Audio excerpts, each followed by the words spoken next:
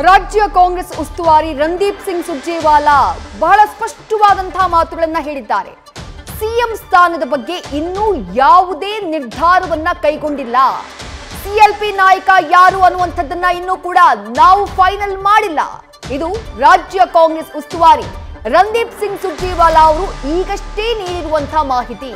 ಇವತ್ತು ಅಥವಾ ನಾಳೆ ಎರಡು ದಿನಗಳ ಒಳಗಾಗಿ ಸಿಎಂ ಹೆಸರನ್ನ ಘೋಷಣೆ ಮಾಡಲಾಗುತ್ತೆ. ನಲವತ್ತೆಂಟು ಗಂಟೆಯಿಂದ ಎಪ್ಪತ್ತ ಎರಡು ಗಂಟೆಯ ಒಳಗೆ ಕರ್ನಾಟಕದಲ್ಲಿ ಹೊಸ ಕ್ಯಾಬಿನೆಟ್ ರಚನೆ ಆಗುತ್ತೆ ಅನ್ನುವಂತಹ ಮಾತನ್ನ ರಾಜ್ಯ ಕಾಂಗ್ರೆಸ್ ಉಸ್ತುವಾರಿ ರಂದೀಪ್ ಸಿಂಗ್ ಸುರ್ಜೇವಾಲಾ ಅವರು ಹೇಳಿದ್ದಾರೆ.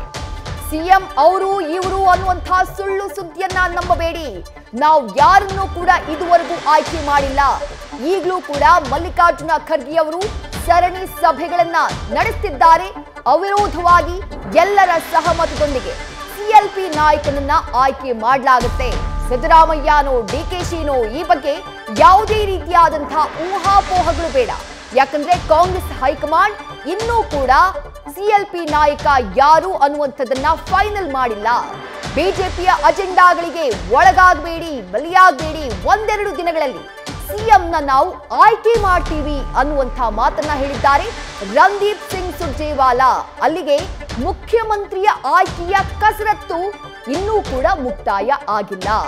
ಯಾರು ಮುಖ್ಯಮಂತ್ರಿ ಅನ್ನುವಂಥದ್ದನ್ನ ಫೈನಲ್ ಮಾಡುವಂತಹ ಕಸರತ್ತಿಗೆ ಇನ್ನೂ ಕೂಡ ಫುಲ್ ಸ್ಟಾಪ್ ಬಿದ್ದಿಲ್ಲ ಅನ್ನುವಂಥದ್ದು ಕ್ಲಿಯರ್ ಆಗ್ತಾ ಇದೆ. ರಣದೀಪ್ ಸಿಂಗ್ ಸುರ್ಜೇವಾಲಾ ಅವರು, ಸಿದ್ದರಾಮಯ್ಯ ಅವರೇ ಮುಖ್ಯಮಂತ್ರಿ ಅನ್ನುವಂತಹ ಮಾತುಗಳು ಹರಿದಾಡ್ತಾ ಇದ್ದ ಹಾಗೆ, ಆ ಮಾತುಗಳು ಕೇಳಿ ಬರ್ತಾ ಇದ್ದ ಹಾಗೆ ದಿಢೀರ್ ಅಂತ ಹೇಳಿ ದೆಹಲಿನಲ್ಲಿ ಮಾಧ್ಯಮಗಳ ಮುಂದೆ ಬಂದು ಕ್ಲಾರಿಟಿಯನ್ನ ಕೊಟ್ಟಿದ್ದಾರೆ. ಸಿಎಂ ಆಯ್ಕೆ ಇನ್ನೂ ಕೂಡ ಕಾಂಗ್ರೆಸ್ ಹೈಕಮಾಂಡ್ ಮಾಡಿಲ್ಲ ಅನ್ನುವಂತ ಮಾತನ್ನು ಹೇಳಿದ್ದಾರೆ. ಅಲ್ಲಿಗೆ ಯಾವ ರೀತಿ ಅರ್ಥ ಮಾಡ್ಕೊಳ್ಬೇಕು ಇದನ್ನ? ಡಿ ಕೆ ಶಿವಕುಮಾರ್ ಅವರು ಹಿಡಿದ ಪಟ್ಟನ್ನ ಸಡಿಲಿಸ್ತಾ ಇಲ್ವಾ? ಡಿ ಕೆ ಶಿವಕುಮಾರ್ ಅವರ ಈ ಪಟ್ಟಿನ ಕಾರಣಕ್ಕಾಗಿನೇ ರಂದೀಪ್ ಸಿಂಗ್ ಸುರ್ಜೇವಾಲಾ ಅವರು ಏಕಾಏಕಿ ಮಾಧ್ಯಮಗಳ ಮುಂದೆ ಬರುವಂತಹ ಸನ್ನಿವೇಶ ನಿರ್ಮಾಣ ಆಯ್ತಾ? ಸಹಜವಾಗಿ ಕುತೂಹಲಕ್ಕೆ ಕಾರಣವಾಗ್ತಾ ಇರುವಂತಹ ವಿಚಾರಗಳು. ಸಿದ್ದರಾಮಯ್ಯ ಅವರೇ ಮುಖ್ಯಮಂತ್ರಿ. ಅನ್ನುವಂತಹ ಮಾಹಿತಿ ಹರಿದಾಡಿದ ಬೆನ್ನಲ್ಲೇ, ಈ ಬಗ್ಗೆ ಸಂಭ್ರಮಾಚರಣೆ ಶುರುವಾದ ಬೆನ್ನಲ್ಲೇ ರಾಜ್ಯಾದ್ಯಂತ ಸಿದ್ದರಾಮಯ್ಯ ಅವರ ಅಭಿಮಾನಿಗಳು ಸಂಭ್ರಮಾಚರಣೆಯನ್ನ ಮಾಡುವುದಕ್ಕೆ ಶುರು ಮಾಡಿದಂತಹ ಬೆನ್ನಲ್ಲೇ ರಾಜ್ಯ ಕಾಂಗ್ರೆಸ್ ಉಸ್ತುವಾರಿಯಾಗಿರುವಂತಹ ರಣದೀಪ್ ಸಿಂಗ್ ಸುರ್ಜೇವಾಲಾ ಅವರು ಸ್ಪಷ್ಟನೆಯನ್ನ ಕೊಡುವಂತಹ ಪ್ರಯತ್ನವನ್ನ ಮಾಡಿದ್ದಾರೆ. ಎಐಸಿಸಿ ಅಧ್ಯಕ್ಷ ಮಲ್ಲಿಕಾರ್ಜುನ ಖರ್ಗೆ ಅವರಿಗೆ ಶಾಸಕಾಂಗ ಪಕ್ಷದ ಶಾಸಕರೆಲ್ಲರೂ ಕೂಡ ಸೇರಿ ಜವಾಬ್ದಾರಿಯನ್ನ ವಹಿಸಿದ್ದಾರೆ. ಹಾಗಾಗಿ ತೀರ್ಮಾನವನ್ನ ತೆಗೆದುಕೊಳ್ಳಲಾಗುತ್ತೆ. ಇನ್ನು ಕೂಡ ಸಿಎಂ ಯಾರು ಅನ್ನುವಂಥದ್ದು ಫೈನಲ್ ಆಗಿಲ್ಲ ಅನ್ನುವಂಥ ಮಾತನ್ನು ಹೇಳಿದ್ದಾರೆ. ಮತ್ತಷ್ಟು ಡೀಟೇಲ್ಸ್ ನಮ್ಮ ಪ್ರತಿನಿಧಿ ಚಂದ್ರಮೋಹನ್ ನೀಡ್ತಾ ಹೋಗ್ತಾರೆ. ಚಂದ್ರಮೋಹನ್, ಸಿದ್ದರಾಮಯ್ಯ ಅವರ ಹೆಸರೇ ಫೈನಲ್ ಆಯ್ತು ಅನ್ನುವಂತಹ ಚರ್ಚೆಗಳಾಗ್ತಾ ಇದ್ದ ಬೆನ್ನಲ್ಲೇ ದಿಢೀರ್ ಅಂತ ಹೇಳಿ ಸುರ್ಜೇವಾಲಾ ಅವರ ಎಂಟ್ರಿ ಆಗಿದೆ. ಇನ್ನೂ ಕೂಡ ಆಯ್ಕೆ ಫೈನಲ್ ಆಗಿಲ್ಲ. ಚರ್ಚೆಗಳು ನಡೀತಾ ಇದೆ. ಇವತ್ತಲ್ಲ ನಾಳೆ ಅನ್ನುವಂಥ ಮಾತನ್ನು ಹೇಳ್ತಿದ್ದಾರೆ. ಈ ದಿಢೀರ್ ಎಂಟ್ರಿ, ದಿಢೀರ್ ಸ್ಪಷ್ಟನೆ ಯಾವ ಕಾರಣಕ್ಕಾಗಿ ಅಂತ ಹೇಳಿ ಚಂದ್ರಮೋಹನ್ ಮತ್ತೆ ನಿಮ್ಮನ್ನ ಸಂಪರ್ಕ ಮಾಡ್ತೀನಿ ಇಷ್ಟಕ್ಕೂ ರಣದೀಪ್ ಸಿಂಗ್ ಸುರ್ಜೇವಾಲಾ ಅವರು ಸಿಎಂ ಸ್ಥಾನದ ಆಯ್ಕೆಗೆ ಸಂಬಂಧಪಟ್ಟ ಹಾಗೆ ಏನ್ ಹೇಳಿದ್ರು ಮತ್ತೊಮ್ಮೆ ಕೇಳೋಣ ಬನ್ನಿ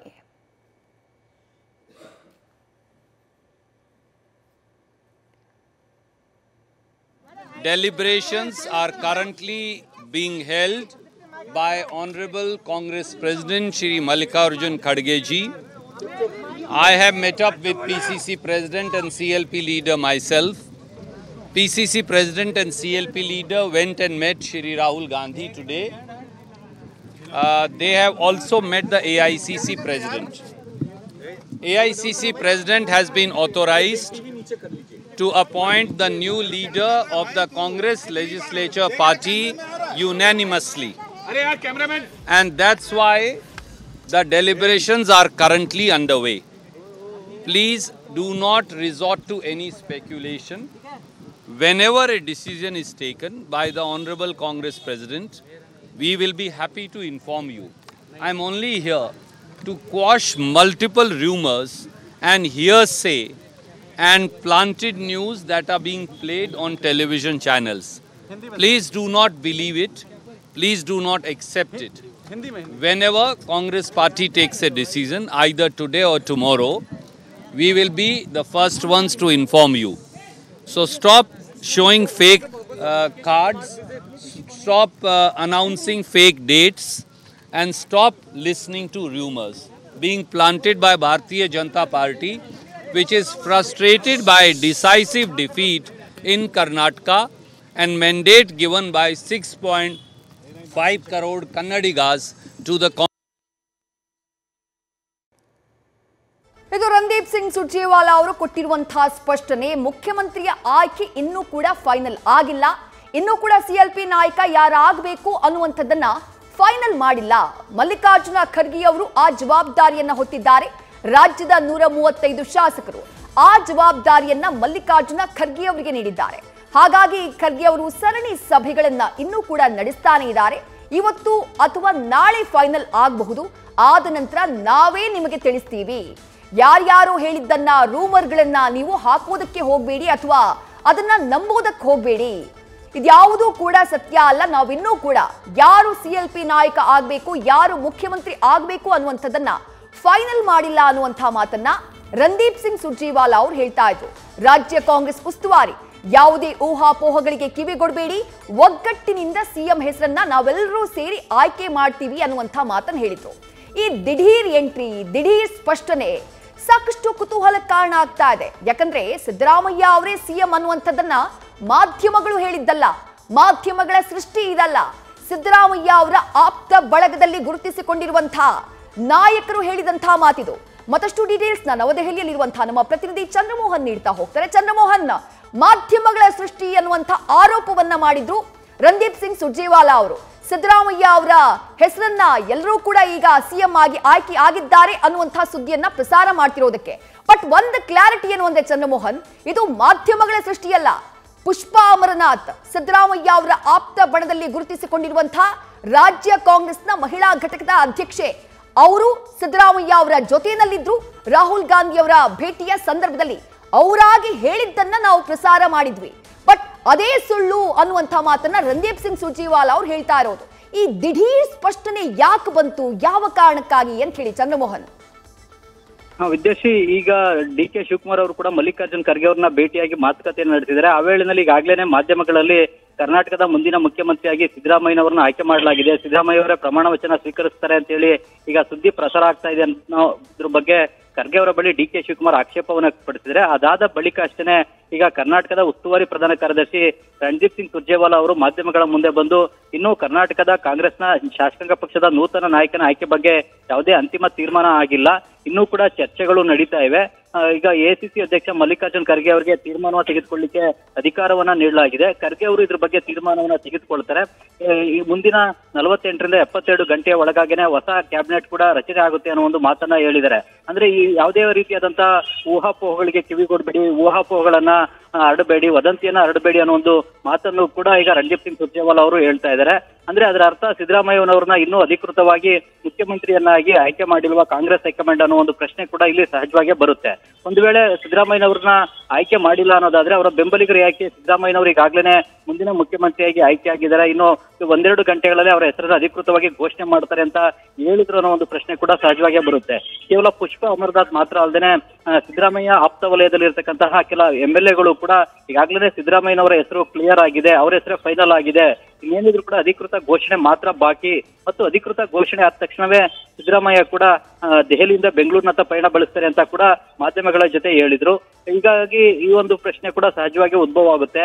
ಈಗ ಸಿದ್ದರಾಮಯ್ಯ ಅವರ ಹೆಸರೇ ಅಂತಿಮ ಆಯ್ತು ಅಂತ ಹೇಳಿ ಅದಕ್ಕೆ ಡಿ ಕೆ ಶಿವಕುಮಾರ್ ಏನಾದ್ರೂ ಕೂಡ ಆಕ್ಷೇಪವನ್ನು ವ್ಯಕ್ತಪಡಿಸಿದ ಬಳಿಕ ಈ ರೀತಿಯಾಗಿ ಬಂದು ರಂಜಿತ್ ಸಿಂಗ್ ಸುರ್ಜೇವಾಲಾ ಅವರು ಮಾಧ್ಯಮಗಳಿಗೆ ಹೇಳಿಕೆಯನ್ನ ಕೊಟ್ರ ಅನ್ನೋ ಒಂದು ಪ್ರಶ್ನೆ ಕೂಡ ಇಲ್ಲಿ ಸಹಜವಾಗಿ ಉದ್ಭವ ಆಗುತ್ತೆ. ನಿಜ ಅಲ್ವಾ ಚಂದ್ರಮೋಹನ್? ನೋಡಿ ಸಿದ್ದರಾಮಯ್ಯ ಅವರು ರಾಹುಲ್ ರನ್ನ ಭೇಟಿಯಾಗಿ ಚರ್ಚೆಯನ್ನ ಮಾಡಿದ ಬಳಿಕ ಅವರ ಅಭಿಮಾನಿಗಳು ಅವರ ಆಪ್ತ ವಲಯದಲ್ಲಿ ಗುರುತಿಸಿಕೊಂಡಿರುವಂತಹ ಕಾಂಗ್ರೆಸ್ ನಾಯಕರು ನಮಗೆ ಕೊಟ್ಟಂತಹ ಮಾಹಿತಿ ಇದು.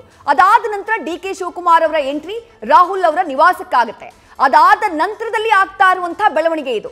ಅಲ್ಲಿಗೆ ಡಿ ಕೆ ಶಿವಕುಮಾರ್ ಅವರ ಒತ್ತಡಕ್ಕೆ ಮಣಿದು ರಂದೀಪ್ ಸಿಂಗ್ ಸುರ್ಜಿವಾಲಾ ಅವರು ಮಾಧ್ಯಮದ ಮುಂದೆ ಬಂದು ಇಂತಹ ಹೇಳಿಕೆಯನ್ನ ಕೊಟ್ರ ಹೇಗೆ ಅಂತ ಹೇಳಿ. ಹೌದು, ಖಂಡಿತ ವಿದೇಶ ಈಗ ಇದು ಡಿ ಕೆ ಶಿವಕುಮಾರ್ ಅವರು ಮಲ್ಲಿಕಾರ್ಜುನ್ ಖರ್ಗೆ ಅವರನ್ನ ಆದ ಬಳಿಕ ನಡೆದಿರತಕ್ಕಂತಹ ಬೆಳವಣಿಗೆ. ಈ ಬೆಳವಣಿಗೆ ನಡೀಲಿಕ್ಕೆ ಬಹುಶಃ ಡಿ ಕೆ ಶಿವಕುಮಾರ್ ಅವರು ಮಲ್ಲಿಕಾರ್ಜುನ್ ಖರ್ಗೆ ಅವರಿಗೆ ದೂರನ್ನ ಸಲ್ಲಿಸಿರ್ಬೋದು ಈಗಾಗಲೇ ಮಾಧ್ಯಮಗಳಲ್ಲಿ ಬರ್ತಾ ಇದೆ. ಇದು ಹೇಗೆ ಬಂತು? ಅಥವಾ ತಾವು ಏನಾದ್ರೂ ಕೂಡ ಈ ಬಗ್ಗೆ ತೀರ್ಮಾನವನ್ನ ತೆಗೆದುಕೊಂಡಿದ್ದೀರಾ? ಹೇಗೆ ಬಗ್ಗೆ ವಿವರಣೆಯನ್ನ ಮಲ್ಲಿಕಾರ್ಜುನ್ ಖರ್ಗೆ ಅವರಿಂದ ಏನಾದ್ರೂ ಕೇಳಿರ್ಬೋದು ಅಥವಾ ಅವರಿಗೆ ದೂರನ್ನ ಹೇಳಿರ್ಬೋದು? ಅದಾದ ಬಳಿಕ ಇದಕ್ಕೆ ಈಗ ಒಂದು ಸ್ಪಷ್ಟನೆಯನ್ನ ಕಾಂಗ್ರೆಸ್ ಪಕ್ಷದಿಂದಲೇ ಕೊಡಬೇಕಾದಂತ ಅನಿವಾರ್ಯತೆ ಖರ್ಗೆ ಅವರಿಗೆ ಎದುರಾಗಿರುತ್ತೆ. ಆ ಕಾರಣಕ್ಕಾಗಿನೇ ಈಗ ರಣದೀಪ್ ಸಿಂಗ್ ಸುರ್ಜೇವಾಲಾ ಅವರಿಂದ ಈ ರೀತಿಯಾದಂತಹ ಸ್ಪಷ್ಟನೆಯ ಹೇಳಿಕೆಯನ್ನ ಕೊಡ್ತಿದ್ದಾರೆ. ಕಾಂಗ್ರೆಸ್ ಪಕ್ಷ ಮತ್ತು ಕಾಂಗ್ರೆಸ್ನ ಹೈಕಮಾಂಡ್ ಇನ್ನು ಶಾಸಕಾಂಗ ಪಕ್ಷದ ನೂತನ ನಾಯಕನ ಬಗ್ಗೆ ಯಾವುದೇ ತೀರ್ಮಾನವನ್ನ ಕೂಡ ತೆಗೆದುಕೊಂಡಿಲ್ಲ. ವದಂತಿಗಳನ್ನ ಹರಡಲಾಗ್ತಾ ಇದೆ. ಆ ವದಂತಿಗಳಿಗೆ ಜನ ಕಿವಿ ಕೊಡಬಾರದು. ನಾವು ತೀರ್ಮಾನವನ್ನು ತೆಗೆದುಕೊಂಡು ಅದಾದ ಬಳಿಕ ನಿಮ್ಗೆ ತಿಳಿಸ್ತೇವೆ ಅನ್ನೋ ಒಂದು ಮಾತನ್ನ ಈಗ ರಣಜಿತ್ ಸಿಂಗ್ ಸುರ್ಜೇವಾಲಾ ಅವರು ಹೇಳ್ತಾ ಇದ್ದಾರೆ. ಆದ್ರೆ ಈಗ ಸಿದ್ದರಾಮಯ್ಯ ಬೆಂಬಲಿಗರು ಮಾತ್ರ ಇವತ್ತು ಸಂಜೆ ಆರು ಗಂಟೆಯ ಒಳಗಾಗಿನೇ ಕಾಂಗ್ರೆಸ್ನ ಶಾಸಕಾಂಗ ಪಕ್ಷದ ನೂತನ ನಾಯಕರಾಗಿ ಸಿದ್ದರಾಮಯ್ಯ ಆಯ್ಕೆ ಆಗಿದ್ದಾರೆ ಅನ್ನೋದನ್ನ ಹೈಕಮಾಂಡ್ ಘೋಷಣೆ ಮಾಡುತ್ತೆ ಅನ್ನೋ ಒಂದು ಮಾತನ್ನ ಈಗಲೂ ಕೂಡ ಹೇಳ್ತಾ ಇದ್ದಾರೆ. ಈಗ ಸಿದ್ದರಾಮಯ್ಯ ಅವರು ಇನ್ನು ದೆಹಲಿಯ ದೆಹಲಿ ಸರ್ದಾರ್ ಪಟೇಲ್ ಮಾರ್ಗ್ನಲ್ಲಿ ಇರ್ತಕ್ಕಂತಹ I T C Maurya hotel ನಲ್ಲೇ ತಂಗಿದ್ದಾರೆ. ಸಿದ್ದರಾಮಯ್ಯ ಅವರು ದೆಹಲಿಯ ಬೆಳವಣಿಗೆಗಳ ಬಗ್ಗೆನೇ ಕಣ್ಣಿಟ್ಟಿದ್ದಾರೆ. ಡಿ ಕೆ ಶಿವಕುಮಾರ್ ಅವರು ಯಾರ್ಯಾರನ್ನ ಭೇಟಿ ಆಗ್ತಾ ಇದ್ದಾರೆ? ಈಗ ಹೈಕಮಾಂಡ್ ಏನ್ ತೀರ್ಮಾನ ಕೈಗೊಳ್ತಾ ಇದೆ ಮತ್ತು ಹೈಕಮಾಂಡ್ ಯಾವಾಗ ಅಧಿಕೃತವಾದಂತಹ ತೀರ್ಮಾನವನ್ನ ಘೋಷಣೆ ಮಾಡುತ್ತೆ ಅನ್ನೋದ್ರ ಬಗ್ಗೆನೇ ಕಣ್ಣಿಟ್ಟಿದ್ದಾರೆ. ಈಗ ಸಿದ್ದರಾಮಯ್ಯನವರು ಕೂಡ ಅಧಿಕೃತವಾಗಿ ಶಾಸಕ ಪಕ್ಷದ ನೂತನ ನಾಯಕನ ಹೆಸರನ್ನ ಘೋಷಣೆ ಮಾಡಿದ ಬಳಿಕ ಅಷ್ಟೇನೆ ದೆಹಲಿಯಿಂದ ಬೆಂಗಳೂರಿಗೆ ಹೊರಡಲಿಕ್ಕೆ ಸಜ್ಜಾಗಿದ್ದಾರೆ.